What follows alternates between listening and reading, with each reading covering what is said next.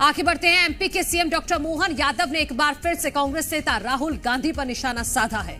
उन्होंने कहा है कि राहुल गांधी अपने अंदर झाँक कर देखें।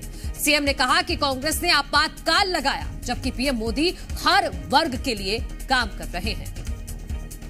प्रधानमंत्री श्रीमान नरेंद्र मोदी जी ने कहा है कि वो ये चुनाव नहीं लड़ रहे, लोगों की ज़िंदगी बदलने का चुनाव लड़ रहे हैं। लोग कह रहे हैं कि संविधान बदलने की बात कह रहे हैं।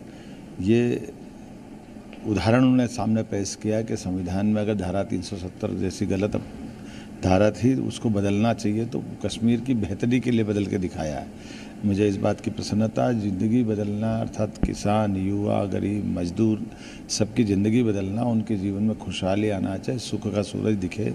इस दिशा में माननीय नरेंद्र मोदी जी की सरकार काम कर रही है।